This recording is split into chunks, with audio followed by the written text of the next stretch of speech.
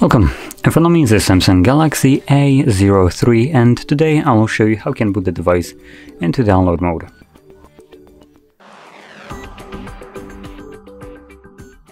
And for this we will need a cable, plug it into your computer and from there connect it to your phone.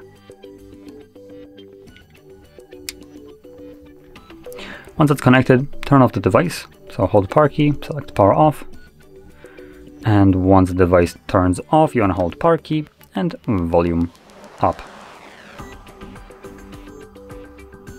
In a moment we should see the Samsung logo and right afterwards it will show up with Galaxy at which point you want to let go of the power key.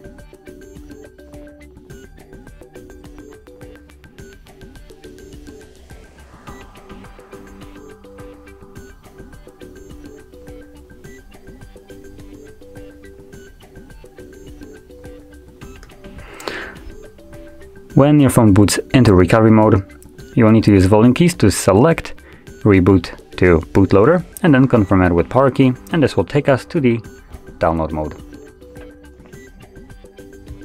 So there we go. That is how you boot your device into this mode.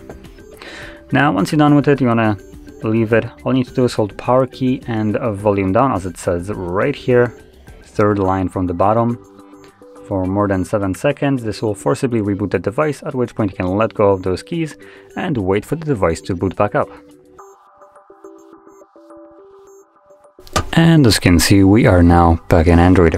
So if you found this video helpful, don't forget to hit like, subscribe and thanks for watching.